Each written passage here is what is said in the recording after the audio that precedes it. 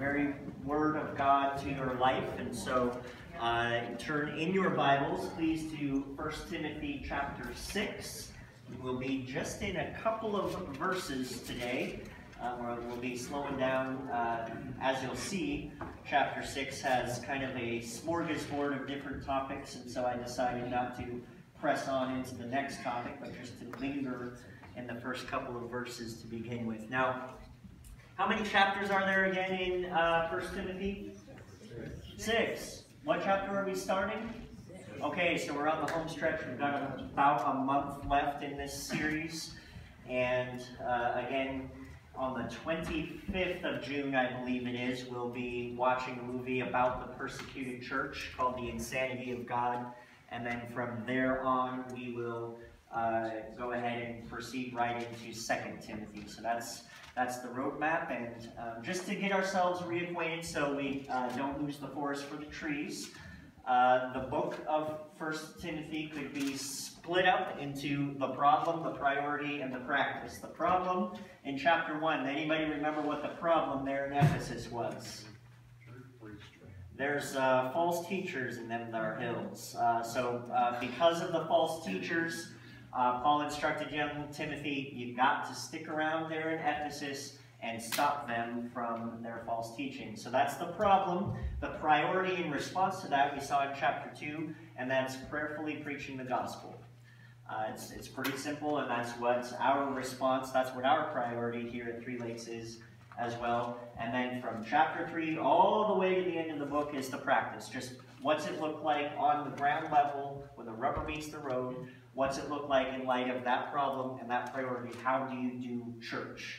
And so uh, we're going to see, as you will find, um, maybe a, a, how you do church that has a little bit of distance between the original setting and our situation, but I'm convinced that uh, the Spirit has something for each one of us this morning, and that's what we'll look forward to. So let's go to the Lord again in prayer. Um, we pray before the sermon not because, oh, you're supposed to pray before the sermon. Why do we pray as we come to God's Word? We, we are flat out dependent on Him, uh, or else we're going to listen to some guy yap for 40 minutes or whatever, go home and not be changed at all. But only the Spirit of God can enact change in each one of our hearts. And so that's why we always pray as we come to God's Word. So pray. Father, it's uh, genuinely a delight to be with your people. I, there's nowhere on earth I would rather be than right here, right now. And I ask God that uh, in the next few moments we would each be transformed individually and that as a result, collectively, our mind would be conformed to your will. That we would be uh, more eager to do your business in the world and that our uh, priorities would be in line with yours. And that's first and foremost to bring you glory by making disciples of all nations. May it be so here among us now by your Spirit and by your grace. In Jesus' name, amen. Uh, I thank you all for uh, taking prayer and praise time in a, in a exuberant direction because uh, as you'll see here, the introduction to the sermon is the other way. um, this week, I was confronted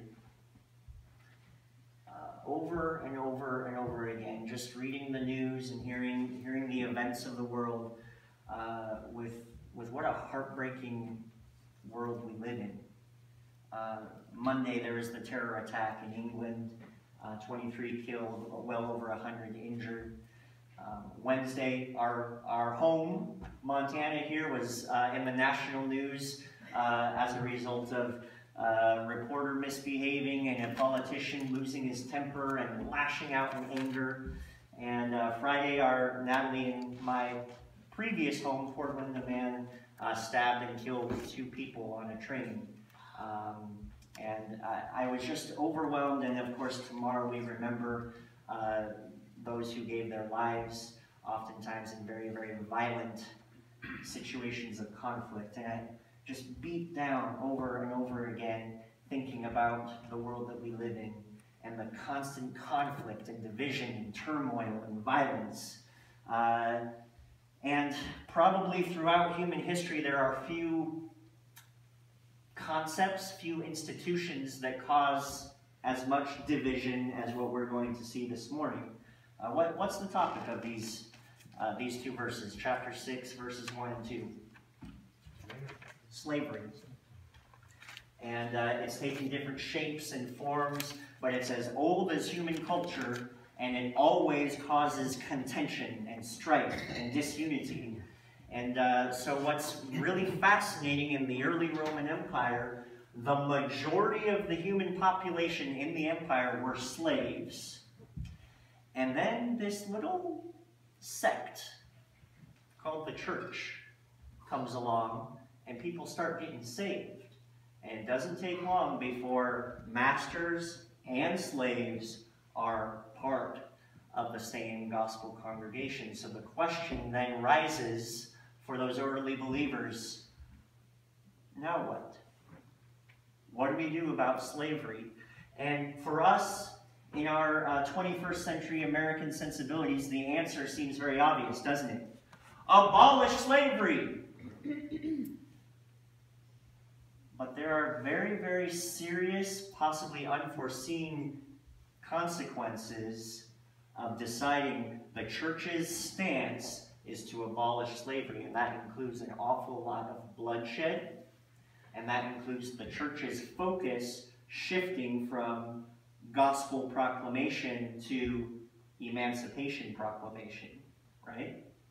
And so what we're going to see here is, is a handling of the issue of slavery that our modern sensibilities struggle with, but we're going to see just how clear of a gospel focus Paul, the early church, and we ought to have that everything else, no matter how high it is, is too low of an aim for the gospel congregation other than gospel witness. And so uh, if you're visiting here with us, inside your bulletin, there's a sermon notes page on the opposite side of the announcement page. That'll help you track, keep track of where we're going. And the big idea is simply this. The gospel revolutionizes your priorities and relationships.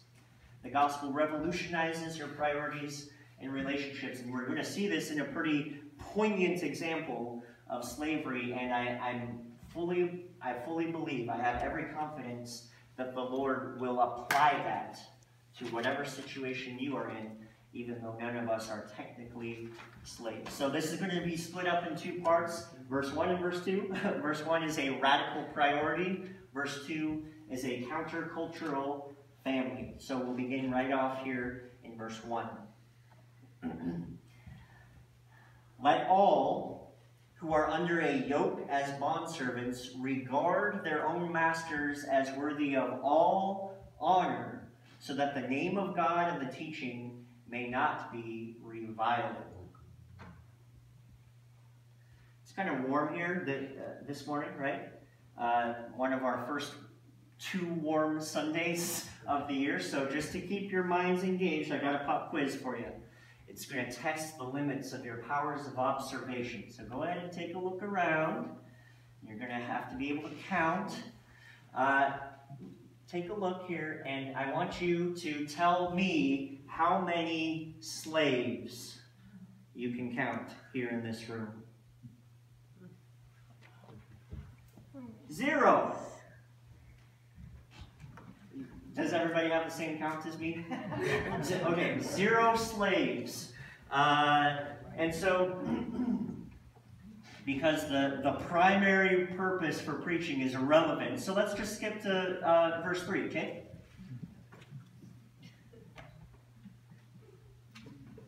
We are not slaves, but he has something to say to slaves here that ought to, as we work our way through this, challenge us to the very, very core. What is your top priority in life? At this time, any slave throughout the history of the world, basically, there would be that yearning. Uh, because they have the image of God, you're supposed to, you are given by your Creator these rights, and liberty is one of them, right? And so they have this yearning. It is not right. It's unjust for another human being to own me. And yet, what we're going to see is for gospel slaves, an even higher priority takes root here. And this should be deeply challenging to every last one of us. Now, uh, many commentators and preachers highly emphasize the distinction between American slavery in the South and the slavery known at the time in Roman Empire. And there are, the, slaves in general were treated a little bit better, and there wasn't the, the race dynamic of white people owning black people. Uh, so there are certain distinctions, but remember, a slave is still a slave. Rather than regarded as a person, a slave is regarded as property. You do not have the rights that God has given to you. You are not regarded with those rights of liberty and dignity and the free activity in whatever human society you find yourself in. And they, oftentimes, it, it was very common for them to, their servitude to extend even to the sexual realm. You are my property, therefore you must do this for my pleasure. Uh, they could be just simply an accusation from a master against a slave. Death.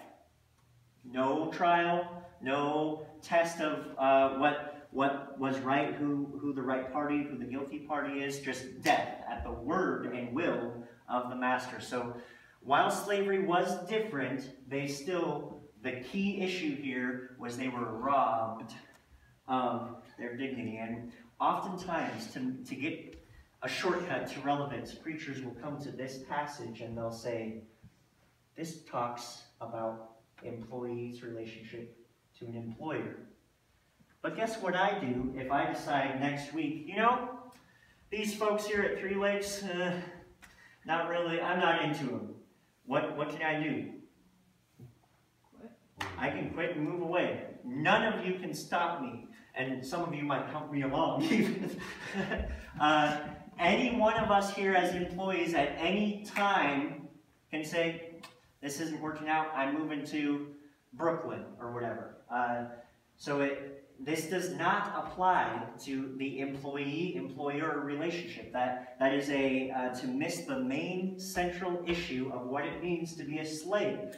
And preachers often grapple with this and they, they say, well, the New Testament doesn't, uh, doesn't explicitly condemn slavery, therefore slavery must be okay. But we, what we discover in the New Testament is much more rich than that. It's slavery is unjust. And as a Christian slave, you will suffer injustice for the sake of the gospel, just like Jesus did. It's regarding these slaves that Paul now instructs Timothy. What, what's the command that, that this uh, chapter begins with? They're to regard their own masters as what?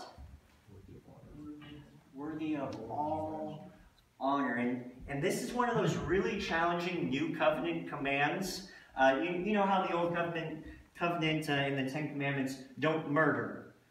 How did Jesus up the ante on that? Do you remember? If you regard your brother with hatred, you are guilty of murder. Same thing here. The, the maybe reasonable standard was obey the external commands of your master. What does he say here? Deep down at the seat of your emotion, have an attitude, a disposition toward your master of all honor. Here's this person who owns you, who makes you work hard and doesn't pay you what you should earn as a result. Is this a challenging command? Is it an unreasonable command? In a worldly sense, it's absolutely unreasonable. You, you can't expect for my emotions to feel these uh, highly regarding types of thoughts and feelings about this person who does not give me the dignity that God Himself says that I have. And yet, that's the command, isn't it? Uh, do you ever feel like the commands of God are beyond your reach? Whoa, I, maybe half the time I could jump this hurdle, but God's setting up this 30 foot hurdle there. What's that supposed to remind us of? God, I can't do it. And he says, exactly. Who can do it? The Spirit of the Almighty God living inside you. And so this would have undoubtedly, all the slaves sitting in this congregation would have been going, regard my master with all honor, Lord, I need your help. I hate that guy. So this puts the slaves right where they should be in complete dependence on their true master. Now, we saw this uh, in Sunday school. What, what, we saw what the church is supposed to be like and why the church is supposed to be like that. Whenever you are studying anywhere in the entire Bible, look for the why. In this case, we get to the reason regard their, uh, their own masters as worthy of all honor. What's the reason? So that the name of God and the teaching may not be reviled. Did Paul care at all about human dignity? Certainly. Read, read the book of Philemon sometimes. That this is it's a book that it's explicitly about the issue of slavery. He's writing to a slave owner Philemon on behalf of a runaway slave, Onesimus, and he's saying, I really, really want you to set him free. I want you to forgive this runaway slave of his wrongs and, and regard him as a brother. Of course, Paul cares deeply about human dignity, but he cares about something higher than that, doesn't he? There's a higher priority. What is it? the reputation of God and the spread of the gospel. Imagine a society that, again, the majority of the population were slaves. Slaves start coming to know Christ as their Savior, and then they all start acting up. And they are disrespectful, disobedient. Uh, they're always stirring up rebellion and violence and vengeance against their masters. Uh, what reputation in the society does the church have then? You can answer. Not good. Not a good reputation. Christians, they're about inciting uproar and causing violence and stirring up dissension. That's what Christians are about. And so he comes and he says he knows just how difficult this command is, and so he wants the slaves to have the proper motivation. He wants them to know the reputation of God and the spread of his gospel is at stake here. I know this is difficult. I know it's unreasonable. I know it's unjust. But for these reasons, suffer through it. And that's what he's calling us to do.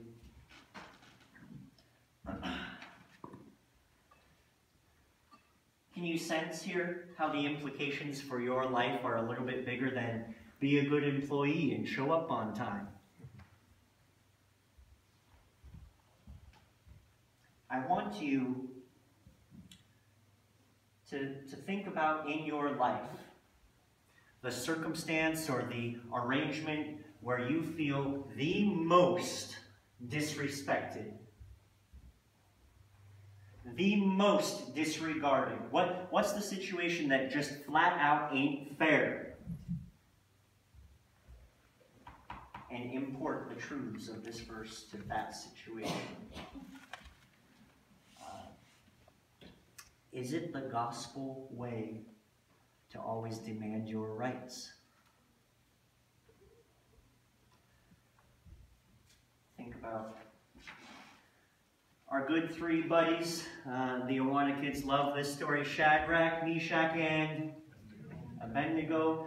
Uh, I picture them getting out the picket signs This isn't right. This isn't right. We don't deserve the fiery furnace. They're in the wrong. Is that what they did? What did they do?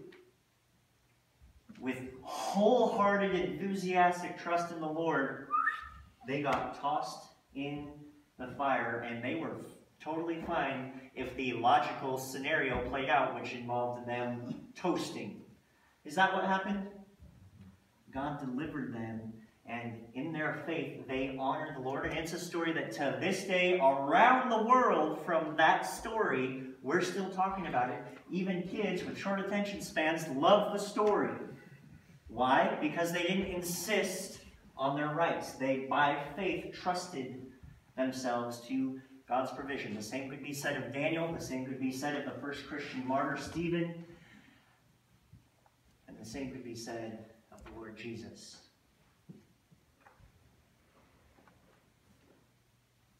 Did Jesus insist on his rights? No. He willingly suffered injustice of every imaginable kind. Betrayal, denial, rejection, a circus court that, that could not stand uh, in legal terms, uh, being spit on, mocked, rejected by his creatures, and he did it all. And that gives us a bit of a picture of what he's asking you when he says, Take up my cross and follow me. So we, we look at these words to slaves and we think, whoa, um, why didn't he care about their liberty? When in reality, this is the call to every believer everywhere. Take up your cross daily and follow the Savior. This is what he is expecting of you. It's like prerequisite to being a disciple of Jesus Christ. And so this is just a case study in the realm of slavery for what discipleship looks like for every single one of us. Do you live your Christianity like that? Following Jesus means that I say no to demanding my rights. As, as Americans, by the way, uh, we are really good at demanding our rights. We're, most of us in this room are quick to notice when liberals demand their rights. Oh man, those snowflakes. Oh, oofda. And then uh, the moment somebody suggests some gun control legislation, no! and we get angry and we demand our rights. Is that the way of Jesus? Probably not. The gospel revolutionizes your priorities and your relationships. Certainly the case for these slaves, and it must be, it should be the case for each one of us. So we saw a radical priority, gospel progress, I count all else as loss. Now we're going to see a countercultural family. Verse 2. Those who have believing masters must not be disrespectful on the ground that they are brothers. Rather, they must serve all the better since those who benefit by their good service are believers and beloved. Teach and urge these things. Um, I've mentioned this a number of times, but I, I love it how uh, the church has this humorous, lovely way of smashing a bunch of people that typically wouldn't like hanging out with one another into one room like this. Uh, and it's awkward, and it's hilarious, and sometimes it's really frustrating. Uh, and that's God's will for us, bringing people from every tribe, tongue, and nation into one group. And then he says, I'm counting on your unity for the progress of my gospel. Go for it with his empowerment, of course. Uh, can you imagine being a slave and you come to know the Lord? You, you hear the glorious gospel of Jesus Christ and you come to him in faith. Uh, and then a few weeks later, your master comes to know the glorious gospel of Jesus Christ, and he's sitting across from you in church. You think you might maybe wish he didn't come to know the glorious gospel of the Lord Jesus Christ? Was it maybe a little bit more comfortable for you before that happened? Uh, if it were me, I, I would feel that way. Man, that guy, oh, oh man. I have to be around him all week long, say yes sir, yes sir, yes sir, yes sir. I'm just trying to do verse 1's commands, and now here he is in the church. Can anybody else be that honest? Come on, we're all like that, right? we, we all go at something we should go yay about. uh, in Galatians, there's uh, there's that command about what what the church is like. Um, there's neither Jew nor Greek. There's neither slave nor free. There's no male or female, for you are all one in Christ Jesus. And so, one of the questions uh, resonating in the minds of the folks at that time in the first century church in Ephesus would have been, okay, uh, I'm a slave and John is my master. What's our relationship look like now? Um, can, can I say to him, hey, because of the truth of the gospel, we are all equal, and you, you cannot own me. Is, is that what I should say? And so he gave uh, pretty specific directions for that kind of scenario. And uh, what, what's my responsibility to John as my owner? Don't get any crazy ideas. uh, does the obedience and submission to the master stop? No, it increases.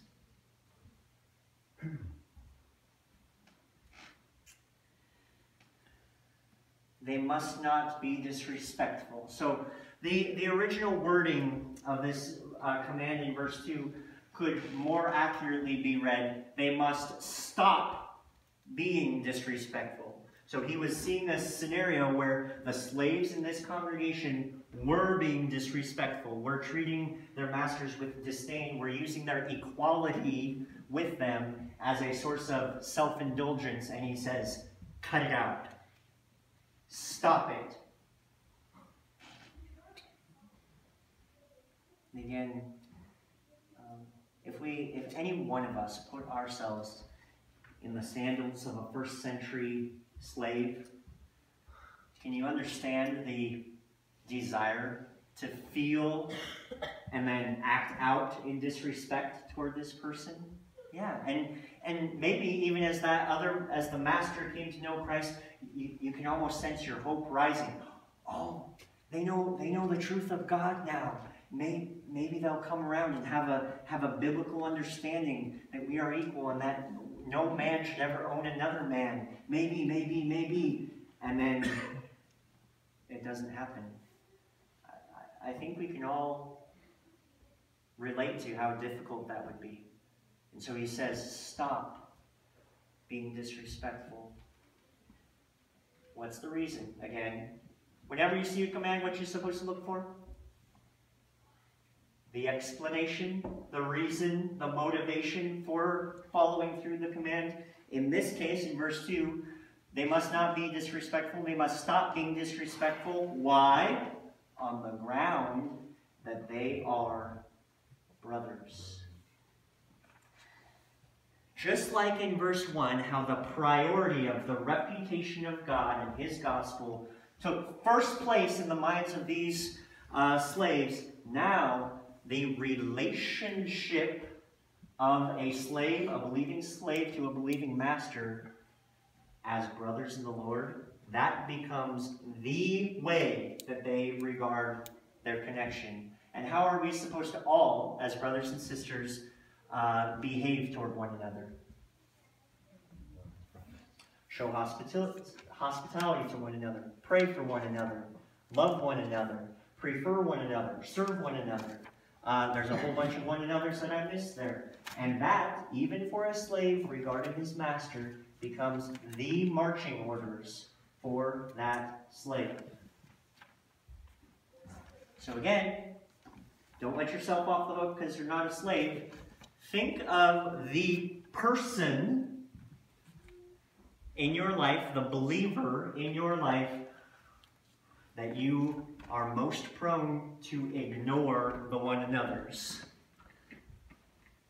The, the person that makes you go, I know I'm supposed to show hospitality to fellow believers, but yeah, not for you. uh, I know I'm supposed to love and pray for fellow believers, but not that gal. Who's the person that tempts you to disregard what Jesus commands you to do for fellow believers?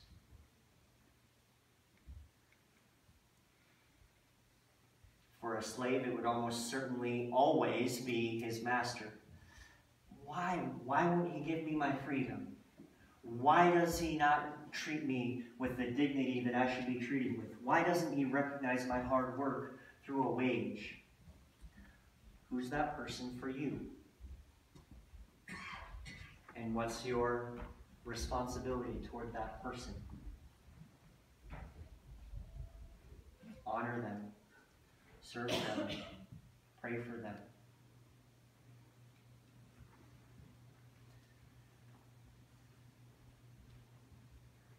Within this room right now, there might be relationships that are strained. There might be old grudges. There might be uh, property disputes. There might be uh, just that angry rumor, that gossip that got spread around because of that person and you're still pretty bent out of shape because of it.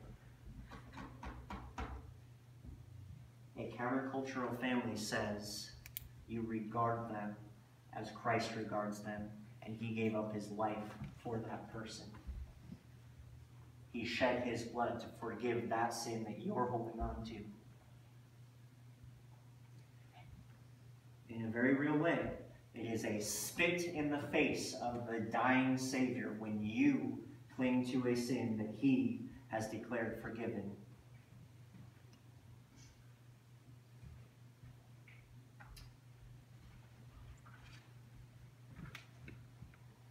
When you live like this, uh,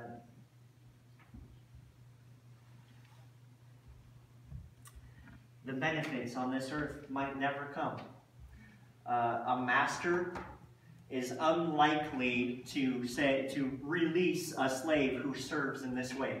They're going to have every reason in the world to hold on to them and not grant them their freedom because that's my very best slave. Are we supposed to look for approval and acquire wealth on this earth? Is that our priority? Heaven. And uh, I, there's stories throughout, uh, throughout church history of the dynamic being really interesting where within the church, a slave is an elder and a master is a member of the congregation. And guess what? The master's responsibility to the slave is in that situation. Submit. And as, as this reputation of the church starts spreading, that, that slave is always talking well of his master. They're just working hard, and even when everybody else is conspiring and uprising, they're just doing their work without a complaint and constantly praying for their master. Guess what the reputation of the church starts to look like? Their kingdom must really be out of this world. They must genuinely believe that the treasure of heaven is worth giving up everything here, and it becomes a pretty compelling gospel case, doesn't it?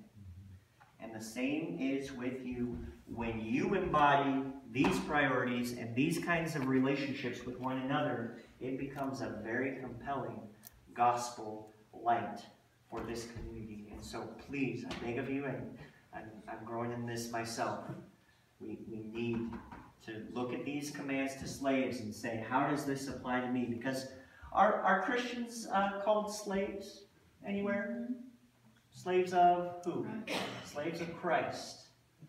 Uh, and at the very end, well done, good and faithful, most literally, slave. And so we owe our everything to him.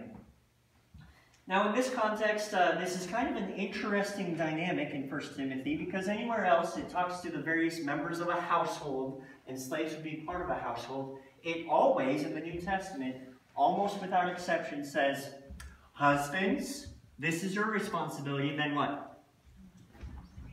Wives, this is your responsibility. Parents, this is your responsibility. Children, this is your responsibility. Slaves,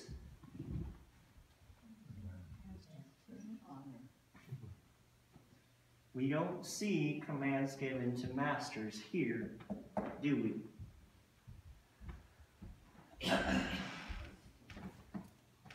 Why do you think that might be? When you're studying your Bibles, pay attention to the commands that are given and the commands that are not given. Because you learn an awful lot straight from the text about what was going on there, in, for, in this case, first century Ephesus. Who do you think needed instruction in this church? The slaves. The slaves were rising up, being disrespectful, that kind of a thing. Who do you think it appears had their act together? By virtue of the fact that they are not giving commands, it seems as though the masters in this scenario probably had a fairly good gospel approach to being a master. And so, um, just to give us, for our situation, a little bit more of a well rounded view of this, I'll, I'll give you some of the other writings of Paul, the responsibilities to masters, so that you know the ideal in the New Testament church isn't necessarily the abolition of slavery, but it does involve slaves and masters regarding one another according to the gospel, right? So in Ephesians, he says to masters, Masters, uh, do good or treat your slaves well, uh, and stop your threatening, knowing that he who is both their master and yours is in heaven. There is no partiality with God. Uh, and so that would make quite a few masters stir in their seats, wouldn't it? Oh, how I treat my slave, I'm responsible to a greater, higher master for how I do that. Um, and then again, please read sometime this week. Read Philemon. Um, it's it's one chapter. It's quick. Uh, it'll take you five minutes, but this gives uh, the most at length description of slavery in the New Testament. And I want you to see how Paul pleads to this slave owner on behalf of Onesimus, the slave, ultimately encouraging him to release his slave. This is from, uh, I'll read a few excerpts from Philemon 8 through 16, verse 8 through 16.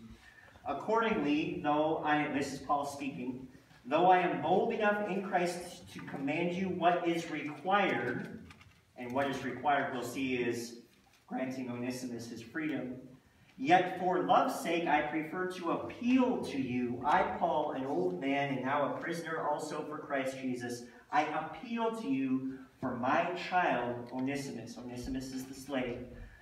I am sending him back to you, sending my very heart. I would have been glad to keep him with me in order that he might serve me on your behalf during my imprisonment for the gospel, but I prefer to do nothing without your consent in order that, watch closely, your goodness might not be by compulsion, but of your own accord. For this perhaps is why he was parted from you for a while, that you might have him back forever. Verse 16, no longer as a bondservant, but more than a bondservant, as a beloved brother, especially to me, how much more to you, both in the flesh and in the Lord. And so he pleads with him, with Philemon, the slave owner, and he says, starting with a change of heart. I'm not demanding that you release Onesimus. I'm pleading with you for you to regard him as he is, which is as a brother in the Lord, as an equal. And you will not uh, treat him any longer as a slave, but as your brother. And that's what all of this, whether to slaves or to masters, ultimately comes down to, and it's what it comes down to for each one of you. It has to start in the heart with a reversal of priorities.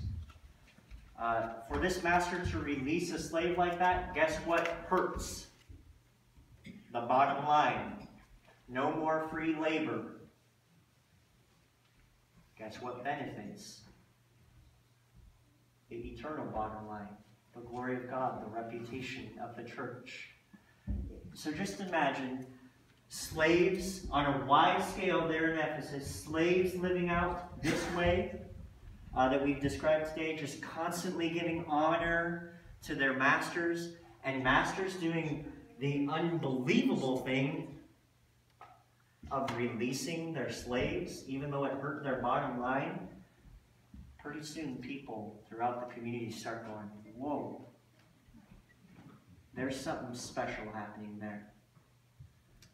And so, uh, even though there is the uh, cultural distance, I encourage each one of you for the rest of today uh, to just be thinking how does this apply to me in my situation? How can I embody these principles that were given originally to slaves? How does that uh, make its home in my own life?